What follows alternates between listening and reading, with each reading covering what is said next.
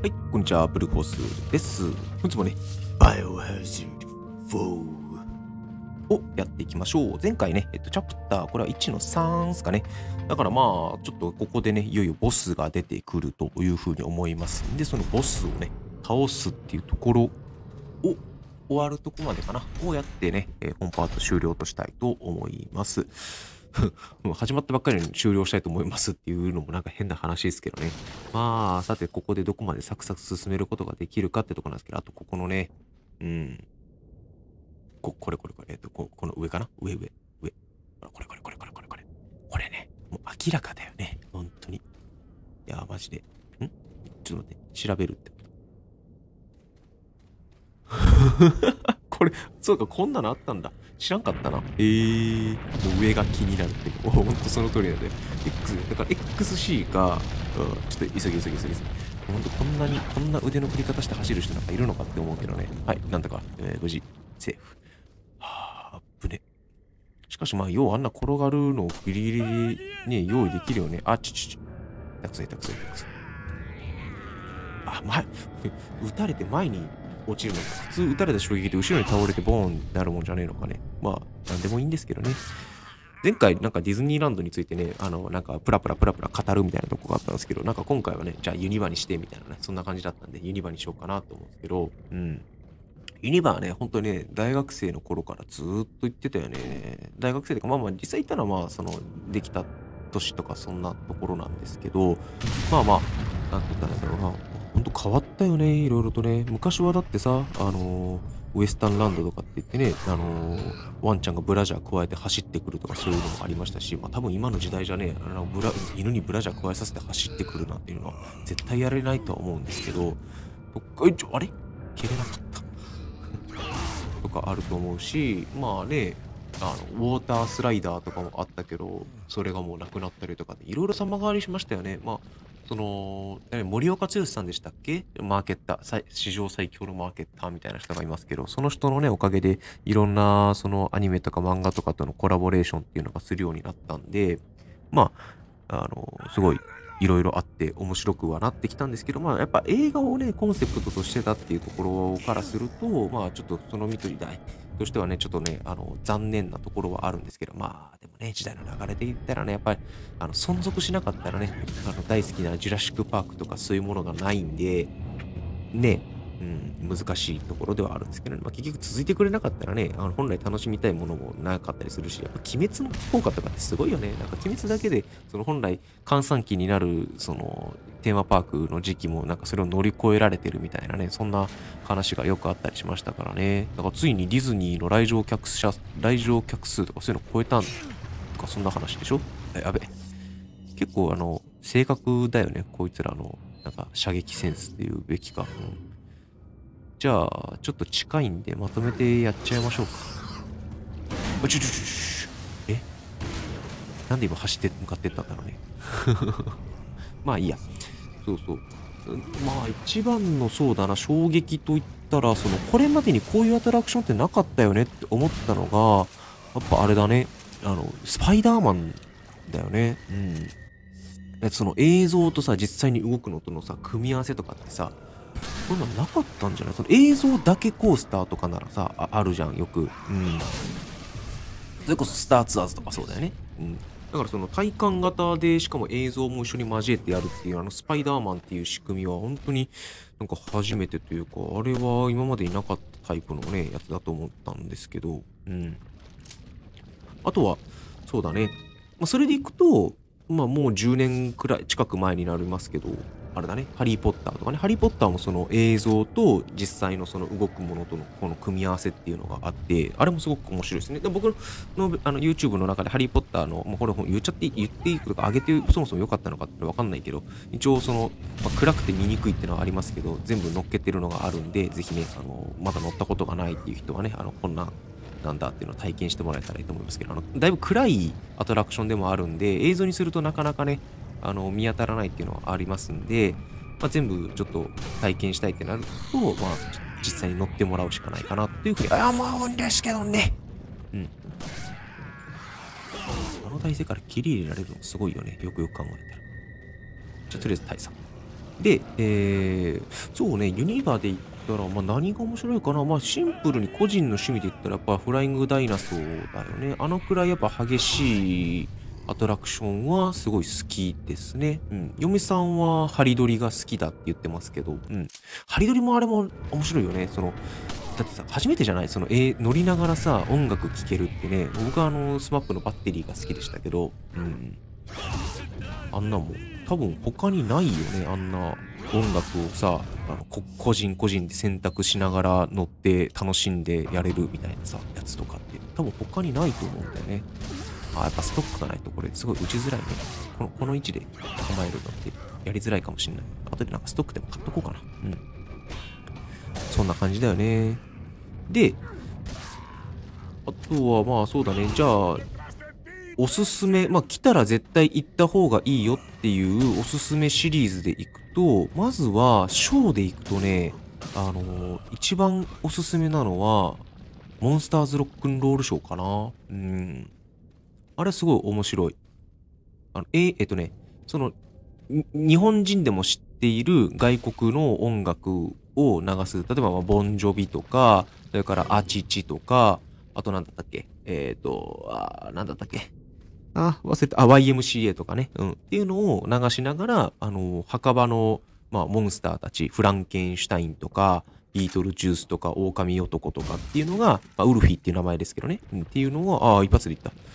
っていうのが、まあ、いるんで、そいつらが、まあ、歌いながら踊ってくれるっていうね。で、特にその、キャス、キャスティングで、その、毎回こう、いろいろ変わるんですけど、あの、ドラキュラ伯爵と、全然当たんない、全然当たんない。もういいや。うん。ドラキュラ伯爵と、えっとね、なんだっけな。ああ、えっとね、フランケンシュタインの奥さんってキャラがいるんですけど、奥さんが当たりの回だったらもうなんかかめちゃくちゃ感動すると思いますよ。うん。そこはすごいおすすめ。モンスターズロックンロールショー。1日5回、5公演くらいやってるのかな？をおすすめしておきます。ただ、なんかコロナの時期、まあ今もあれですけど、コロナの時期、またコロナがね、ぶり返したりとかしたら、ちょっと、あの、ショーは見れなくなっちゃうんで、室内ショーなんでね、あの、まあ、いいタイミングで見に行っていただけたらいいかなと思いますね。モンスターズロックンロールショー、これはもう間違いなくおすすめですね。で、あとは、個人的にはもう本当タイムリーというか、まあ最近のあれですけど、あの、マリオワールドだったかな。ニンテンドーワールドか。ニンテンドーワールドはもうおすすめですね。あれはマジでね、あのユニバの本気を感じた。本当に、あの土管をくぐったらもう別世界ですね。トンネルをくぐったらそこは雪景色だったみたいなね。うん。くらい、もう全然一いっぺんにこう変わるっていうのはあるんで、そのパックンフラワーとかクリボーが徘徊をしてたりとか、まあ、マリオとかね、ピーチ姫とかも出てきたりしてますし、で、あとね、おすすめなのが、個人的にはレストランかな。本当になんかマリオの世界観が、そのレストラン、飯食うと、飯自体もすごいんですけど、飯食べるところでも、その世界観周りがその動く映像のキノピオが走り回ってたりとかクッパー城のあのあのクッパの飛行機飛行船かがあの飛びか回ってたりとかっていうのがあるんであれはねすごいおすすめですね。あそこの世界観を味わうためだけに、まあ、ドリンク飲むだけでもいいから入ってみるっていうのはいいと思いますね。まあちょっと高いんでねやっぱりね、うん、ティラミスめちゃちっちゃいのでも700円か800円ってこれ普通のケーキ屋さんだったら3個くらい食えるんじゃねえかみたいなそんなんありますから。ちょっと高いけど、まあ雰囲気味わうために多分インスタ映えめちゃめちゃすると思うんで、そういうの好きな女の子とか行くのすごいおすすめですね。で、あとやっぱハリーポッターうん、ベタなとこで行くとハリー・ポッターですね。あの、ハリー・ポッター、まあ、いろいろとこう、ホグワーツ城とか、ホグワーツ城もできれば、その、お昼と夜との、その、写真の撮り比べとかしてみるとすごい面白いかもしれないですね。これもインスタ映えめちゃくちゃすると思いますよ。うん。あとは、ホグワーツ城の中とかもですけど、まあ、やっぱり、さっき言った、その、あの、まあ、僕がその YouTube に上げてますよって言った、アトラクションだったかな？あの、フォービットンジャーニーだったかな？禁止された旅って名前だけど、英語だったらあ、日本語にすると。あれはすごいおすすめですね。多分、初めて乗った時はめちゃくちゃ感動すると思います。うん。この映像と実際のギミックと、あの、だからまたね、えっと、スパイダーマンとはちょっと雰囲気が違う感じなんですよね。スパイダーマンと雰囲気が違う感じで、映像と実際のギミックをなんか交互に見ながら進んでいくっていうやつですね。あれはすごいおすすめですね、個人的には。うん。さあ、ということで、ボス戦やってまいりましたね。まあ、ボス戦も楽しみながら、えー、ユニバの魅力ということで。あとはやっぱご飯で言ったらターキーレッグが、個人的にその肉肉しいご飯が好きっていうのがあるんでね。うん。ただ、なんだかんだでね、その季節のご飯って言ったらいいのかな。季節のその食事に関しては大体当たりのものが多かったりしますよ。うん。冬場とかだったらね、クラムチャウダーみたいなものとかすごいおすすめだったりしますんで、うん。あとは、そうだな、おすすめ。まあ、遊びに行くならこれ見といた方がいいよっていうのと、なんだろうなパッパッパって今思い浮かべてってるんですけど、うーん、なんかね、あの、やっぱり、アトラクション自体は全般的にその大人向けっていうのがあるんで、あの、ワンダーランドとかって、ワンダーランドっていう、その、どちらか、えなんでそっち？いきなりやらかしたわ。うん。ワンダーランドとかっていうのがあるんですけど、それは子供向けのアトラクションですけど、子供向けのところで言うと、そう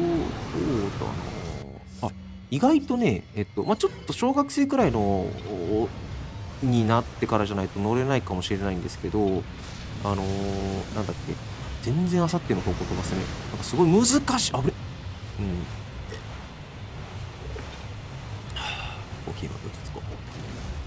ちょ、めっちゃ操作しにくい。全然当たらねえし。むずっ。うら。あ、いなくなった。これあれだね。しまった。おめっちゃむずいわ。なんかあの、操作してんのにグイグイグイグイ。ほら、なんかもうブレブレでしょ？やばいやばいやばい、本当に。こんな、こんな行くんだ。え、感度良すぎる逆に。感度がいい。感じちゃう？やばい。定まらない。あ、やばいやばいやばい、ちょちょちょちょちょ。一発ようやく当てるくらいが限限界だね、これ。あらー。全然あさっての方向だもんね。やばいやばい。これちょっと時間かかるかもしれません。ごめんなさい。うん。そう。あの、なんだっけ、あ、そう、もっと言うと、ワンダーランドで言うと、あの、ちょっとした刺激が欲しいんだったら、その間違いなく、と、あ、エル、エルモのゴーゴースケスケートボードとかな。なんか、うん、そういうのがあるんですよ。なんかスケートボードの形のものに乗って、で、ぐるぐる回るっていうようなあものがあるんですけど、あれはね、あの、お子様向けでも、まあ中でも刺激をもらえるのには非常にいいかなと思いますね。あとは、あのーまあ、1歳前後くらい、まあ、1歳から2歳くらいの対象年齢がね結構ね3歳以上のアトラクションとか、あのーそのエリアが多いんですよワンダーランドって。だからあんまり小さすぎる子にとってはあのディズディズニーじゃないユニバってあんま実は楽しめるものって少ないっていうちょっと残念なところはあるんですけど、まあ、一方であのカルーセルあのメリーゴーランドですね。メリーゴーランドはおすすめ。でなんでかっていうとメリゴーランって通常その馬に乗って上下するじゃないですか。だからちょっとまあそのしっかり座れない子供はあのダメですよってなるんですけどあのゴゴ,、えーとゴンドラじゃなくてあれなんて言ったらいいんだろうな、まあ、その動かないシートっていうのがあるんですよ。だからそれ乗るだけでもアトラクションを十分楽しむことができるしであの前後の席に座れるんで例えばまあパパが前に座ってママとそのお子さんが後ろに座ってでパパが後ろ振り返りながら、えー動画撮り撮ってあのぐるぐるぐるぐるアトラクションを楽しむっていうのもできるんで、まあ、そういう意味ではあのうわっちゃった。あのそういう意味ではその動かない、えっとカルーセルっていうのはディズニーにはなかったんでそういう意味では、えー、あまあそうだねなかったかな、うん、そういう意味ではあのユニバの方がそこの部分に関しては親切設計かなというふうには思いますね。うん。それは良かったですよすごい。だから安心安全。まあ、あとはあのところどころにね、まあ、ディズニーもそうだしユニバもそうですけどあの子供のおむつ変えるためのスペースとかそういうのもあったりしますしでユニバの場合はディズニーに比べると面積も狭いからすぐに行こうと思ったら行けるっていうねあなんだかんだベラベラ喋ってたら終わっちゃったね。まあなんとか無事クリアすることができましたというところですね。はい。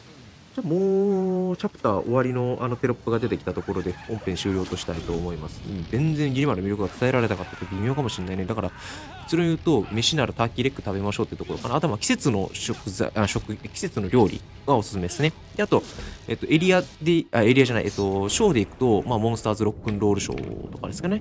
うん。まあ、ウォーターワールドとかも無難に面白いよ。面白いよ。うん。で、アトラクションで行くと、まあ、任天堂ワールドの、えーと、マリオカートとか、まあ、あとハリー・ポッターとか、個人的にはフライングダイナソーっていう、まあ、一番激しいやつですね。がおすすめかな。うん。っていうとこですね。まあまあ、ね、もう、間もなく春休みも終わるという頃なんで、あの、最後になんかどっかで人暴れして遊びたいなっていう方がいらっしゃればね、ぜひそこで楽しんでいただくのがいいのではないかというふうには思いますんで。はい。ということでね、えー本編ももう間もなく終わりを迎えるというところですんで、最後までご視聴いただけたら、あ なんで？いただけたらじゃないですね。いただいてますからね、ここまで来てるってことはね。はい。ということでね、最後までご視聴いただきまして、どうもありがとうございました。また次回パートでお会いいたしましょう。お疲れ様でした。さよなら。バイバイ。